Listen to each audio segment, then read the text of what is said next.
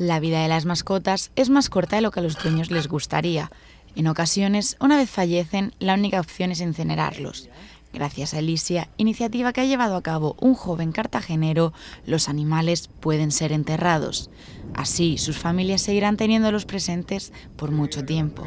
La idea es construir un parque, un jardín todo natural, con ambiente natural y esperamos llegar a cumplir con los 20.000 metros cuadrados que hay proyectados para 15.000 fosas. Es el primer cementerio de mascotas de la región, en el que existen dos tipos de servicios. Uno más económico donde ya hay un árbol previamente plantado y alrededor se cavan seis fosas. Otro más personalizado donde el cliente puede elegir el árbol que se quiere plantar para su mascota y ese es individual. Ya hay enterradas 19 mascotas. Uno de los requisitos para poder usar los servicios es que el animal no padezca ninguna enfermedad infecto-contagiosa en el momento de su muerte. Los usuarios del cementerio vienen desde todos los puntos de la región. Para muchos es un alivio poder contar con este servicio.